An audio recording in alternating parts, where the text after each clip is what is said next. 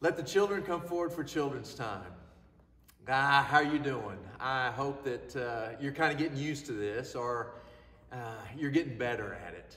Um, I'm certainly trying to. I don't like it, but you know, um, we're doing this because it's important. We're staying separated because it's important to do. And, and it's going to be a while. So listen to your mom and dad when they say, you know, hey, we can't go and out like we used to. We can't go and be with people like we used to. And, you know, that means that we we really miss being with our friends. Maybe you used to have, uh, you know, your friends over, some of your uh, cousins or family members that would come over and y'all would be together more often and go and visit during the summertime maybe. And maybe those are things that are being canceled. Our family was supposed to have a family reunion. People from all over the United States were going to come in and I'm afraid we're going to have to cancel that and that means we're going to miss being together. I miss us being together. Do you? Well, I've got something for you. I told you that we were going to make something and get it ready. So we've got a bag and it's filling up here. You can see I've got some stuff in it. I'm going to add even more. And of course, I will add for you some candy. But what I want you to do is I want you to be the first to call me and let, let me know that you're, you're ready for it. We're going to deliver on Thursday of this week. So when you see this uh, uh, video uh, on Sunday, uh, it'll be Thursday after that that we will go and deliver out. So we'll probably honk the horn and leave it out on the, uh, you know, the driveway or near, near your house. And so you can come and get it, and we can wave at each other when you when uh, you hear the honk, uh, the horn honking. But I want to tell you a story.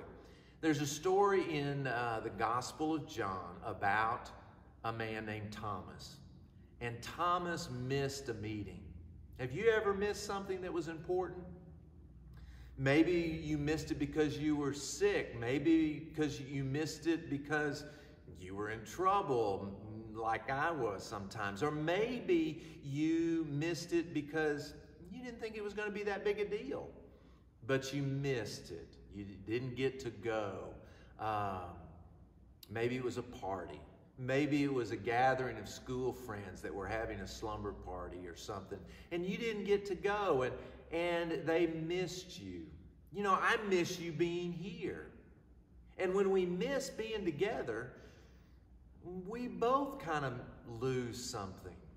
That's why we call the church the body of Christ. In other words, that when we get together, we represent the hands and feet of Jesus.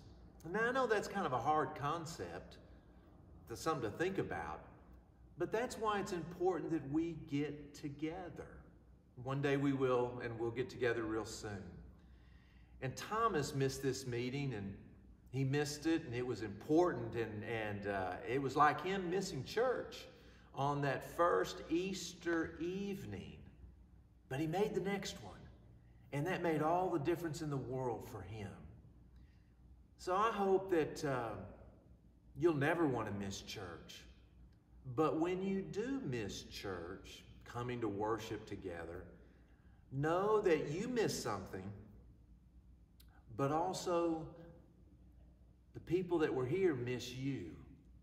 Well, I'm here, and I know you can't be here, but I miss you. And I hope that you look forward to the time that we get to get together again. Because that's be the opportunity that we can share God's love to each other. I miss you, and I love you. And I look forward to giving you this bag of gifts that you share with your mom, and y'all do these projects together for Mother's Day. And uh, I hope that you'll have enough of that candy that I hope that you'll share that with others. Let's pray.